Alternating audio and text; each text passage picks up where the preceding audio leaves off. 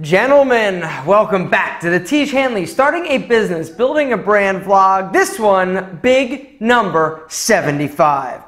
So this video is going to be long, but there is going to be there are going to be so many business related lessons along the way that uh, get a cup of coffee, get a bottle of water, get get comfortable because uh, this story is just weird and bizarre. And if you would have told me six months ago, three months ago, two months ago that I would be the proud owner of the Fashion Anchor, one of the proud owners, I'll tell you about that in a second, I would have laughed you out of the room because there was no way in there's no chance that I was going to be part of this damn thing because I was so mad and I just all right.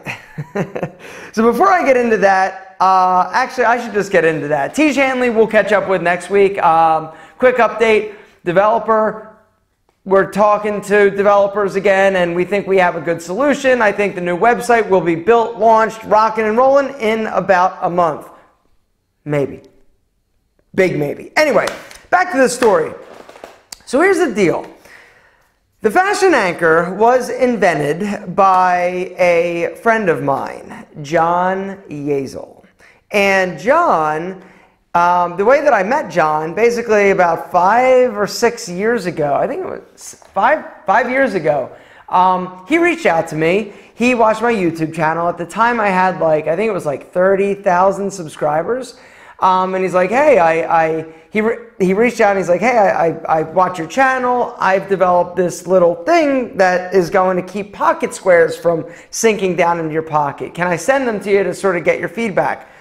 Now, if this would have happened today, I would have been like, whatever, Debbie, my assistant, handle that. I don't want to talk. I, I get bombarded by emails, people wanting to send me, people needing help, and, and I've had to really just say, uh uh I, I can't, I got to take care of me. Um, learning to say no.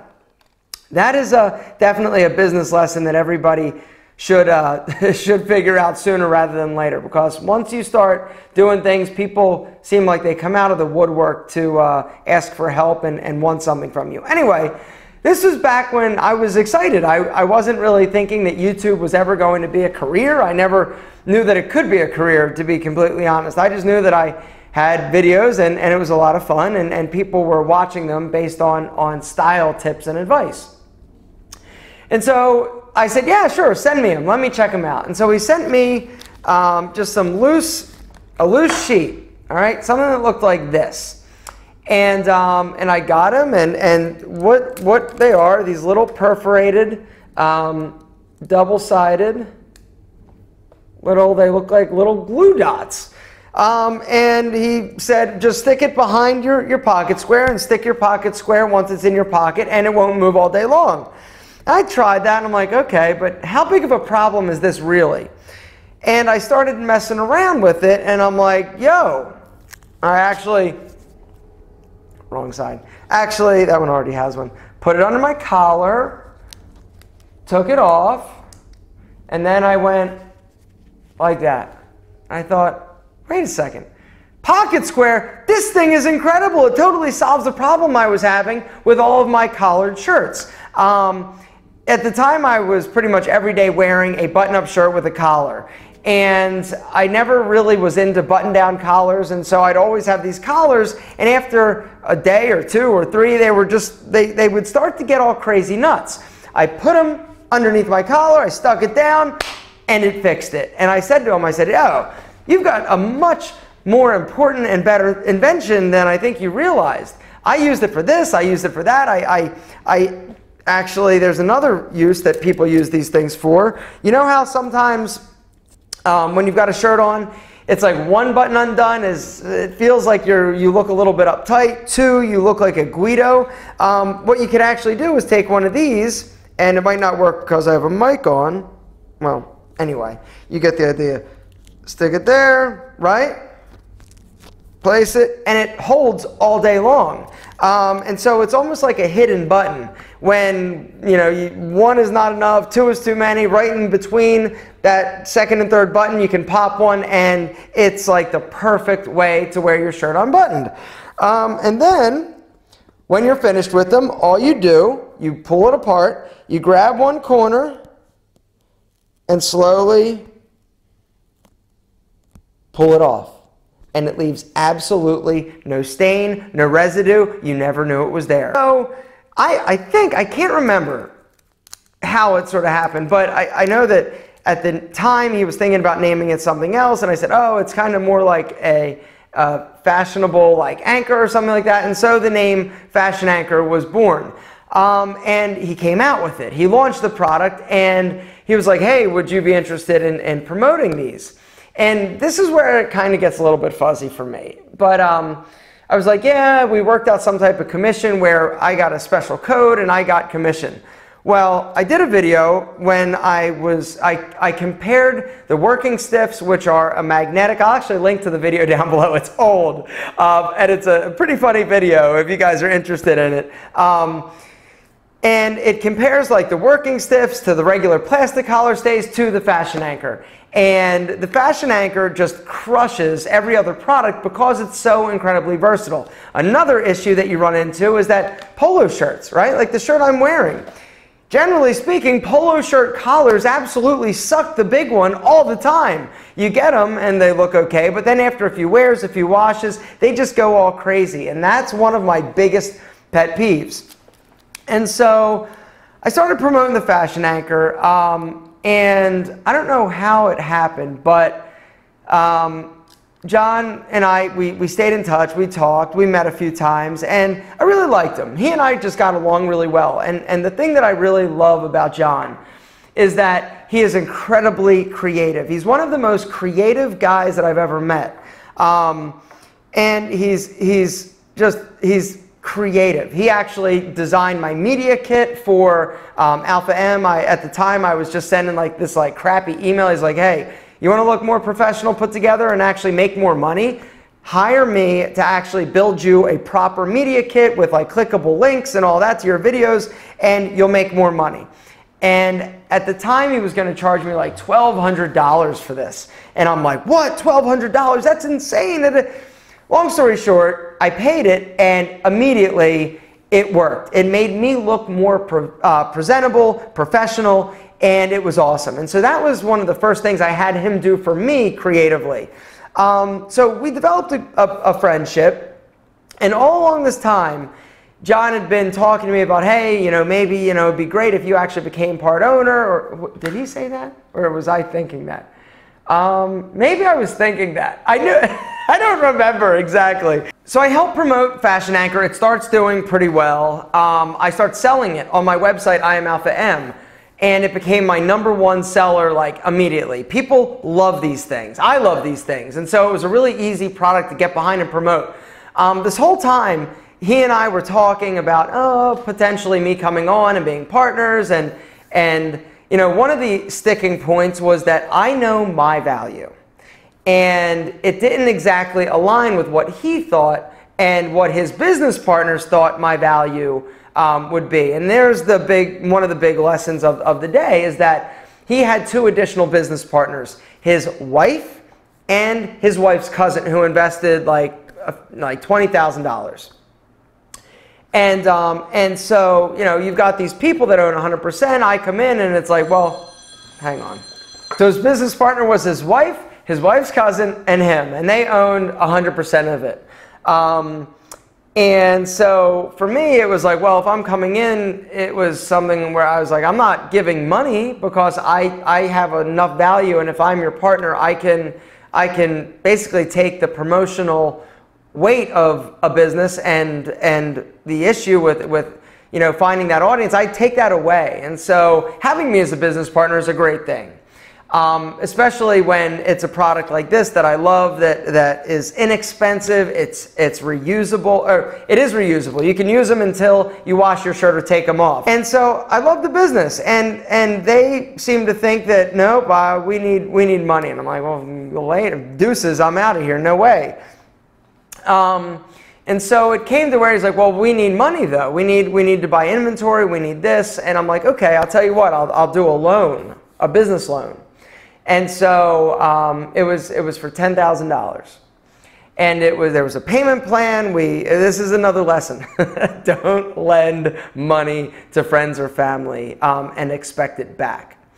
So anyway, so I lend this money and I said, hey, after you, you sort of get in a good position, let's have a conversation because I really think that, that I should become part of this. And he, they agreed. Well, during the time, and I didn't really talk to Jon for, I guess it was like a month. I gave him like three months to start paying me back. And I didn't really talk to him all that much during this time. All of a sudden, it came time to actually pay me back, and I didn't get a payment. I didn't get a call. Come to find out, um, Jon and during this time, this three month period, Jon and his wife separated. And there were some issues with, with bank accounts and money. And he actually um, used the money on another idea that he had for these, these um, watch, watch straps, watch bands. And he had told me about the watch bands before, but I'm like, no, do not use my money for that. Use it for the Fashion Anchor. I know that product. I know it sells and he used it on the watch straps and did not actually handle his business with the fashion anchor. And um, I freaked out. I freaked out bad. And so eventually I did get repaid the $10,000, but at that point I took all my videos down for the fashion anchor. I stopped promoting it. It was like, uh-uh, I'm not helping anymore. And, um, and it was hard. It, it, it, it was hard because not only did I lose a friend because we ceased being friends because I felt like he lied to me and, and took advantage of me and all sorts of things that you shouldn't feel like when you have a friend. And, um, and so we basically didn't speak for, this was almost two years. And, um, and so he ended up paying me back and, and, and long story short, he and I reconnected. It was it was for StyleCon, like I guess it was like two years ago or a year. I forget what it was. It's it's also it's been so long, and the story is so sort of all over the place. Um, but we reconnected, and we started talking again. I still wasn't promoting the Fashion Anchor, and he was still going through a divorce. Um, and the problem, the big issue was the Fashion Anchor. What are you going to do with the business, and how is he going to you know, buy her out and he really didn't have a good, you know, income stream and the business was pretty much shut down. And, and um, long story short, Jon met a guy, Brian, who was a friend of Jon's who invested in Jon. this, this story, I'm sorry, it is all over the place. Um, so Brian invests in Jon. Brian is a really smart guy, and he, uh, you know, Jon is incredibly charismatic. And and when Jon talks about things, you get excited because he's so excited about it. Brian invests and thinks that he's investing in not only the watch strap company but the fashion anchor. And um, come to find out that Jon was not allowed to sell the fashion anchor. Anyway, long story short, I come into the picture and they're sort of figuring out what amount of dollars his ex wife would take to basically wipe her hands. It's been two years. Let's get divorced and let's settle things with the fashion anchor. So she gave Jon a number. I will accept X to basically wipe my hands. You can have everything. I will sign whatever you want. I have no interest in the fashion anchor and we are divorced. And so um, it was around about probably three weeks ago. honestly, I mean it's been it's been relatively recent. Um, she gave the number, and I came up with the plan. Part of the plan. We all sort of collectively came up with the plan of um, here's how it's going to work. Brian, put up the money. Jon, make sure she doesn't change her mind. What I'm going to do is I'm going to come in and take the majority ownership in this business. I'm not going to put any money up to buy it away from her. You guys handle that. But what I will do is once it is secured, it's away from them, I will buy the opening inventory. I will also buy, um, you know, the, the, the packaging and I will run everything out of my, my facility where I ship Pete and Pedro. I've got sort of a built-in, um, you know, fulfillment center here at, at Alpha M headquarters. And so got a website built, got everything up, launched, and literally we just kind of launched um, this past week. Um, I did a video where I integrated very subtly on the on the screen. I, I said, uh, "Meet my new company," and I, I, used the Fashion Anchor in a style hack video, which um, sort of launched it. And um, I'm really excited. This, this is a product that I've wanted to be part of for, shoot, for five, five six years. Um, it just never has worked out until now. And um, I'm really excited to see where we can take it. It's been really hard. It's been hard emotionally. It's been something where I've, I thought about it. Do I do it? And, and at the end of the day, if I didn't take this chance or this risk on this product, um, I would regret it. And to be completely honest, here's the other beautiful thing about the position in which I sit today is that it's sort of limiting. My risk is very limited. Personally, my risk is limited. I didn't have to come up with some crazy amount of money to buy something out. I'm basically coming in and saying that I know that I can sell this. I've got an audience. I knew that it was popular and I sold it, you know, a few years ago and people loved it. And so, you know, just knowing what I can do with products and how I can sell things, the risk is super low. And so we launched and everything is going well. It's not, I don't think, ever going to do the Tiege Hanley numbers, to be honest. I think Tiege Hanley is a product that is like nothing else that's out there. And I think it's just, it's, it's as close to flawless as possible or as you can get in terms of, of a product um, this is a good product. It's, it's going to, you know, it's going to resonate with some people. It's not going to resonate with people. It's a $15 product. It's not a subscription. It's not, it's, it's just a cool, affordable product. I'll link down below along with a discount code if you guys want to check it out. Um, we've got to redo the video that's on the website. It just, honestly, Jon, it's Jon in the video, and, and you see his, his beard is just unruly, and I think it kind of is a little nasty. Uh, so we're going to definitely redo that. But other than that, I'm excited. Um, I made the decision late last year that I was not taking on any more products, any more responsibilities. I was just going to focus on sort of what I have going on with Tiege Hanley, Pete and Pedro, um, Alpha M, my YouTube channel, which is a business, Menfluential Media, which is a advertising agency, um, the conference, Menfluential Conference that I do with Antonio. I was going to focus on those businesses. I didn't have time for anything else. But when this opportunity came up, it was one of those things where it was, it's like the only product that would get me to jump into something else. Um, it takes energy, it takes effort, it takes personal bandwidth in order for, for me to do this and promote it and, and to, to have this business. But um, I would regret it if I didn't. And it's something where I almost feel like it's my destiny. I've been I've been through so much, so much heartache, so much just craziness with it that um, I'm just happy that it finally is, has come to fruition, and, and I'm hopeful that it that it will do well and and um, it'll be a success. I don't know, but that's the fashion anchor story. And I apologize for rambling. I'm a, I apologize if it didn't make any sense. I'm probably leaving out a bunch of stuff, um, but I'm just so so thrilled that it's over, and um, I can run, run, run hard, run fast, and, and make it something that I that I truly believe it, it could and should be. And that's my story, guys. Thank you so much for watching and listening. I know I've danced around this for the past two vlogs, uh, but I wanted to talk to you about it, tell you about it, uh, because I'm excited about it. And it's definitely, hopefully you got some type of lesson from, from my heartache and, and the process in which I've taken in order to, to be part owner of this. And there are three of us. It's me, Brian, and Jon. Um, Jon still has a piece of this. Uh, Brian and I have the majority of it and are going to do some really great things. And so Jon gets to do what he does, which is be creative.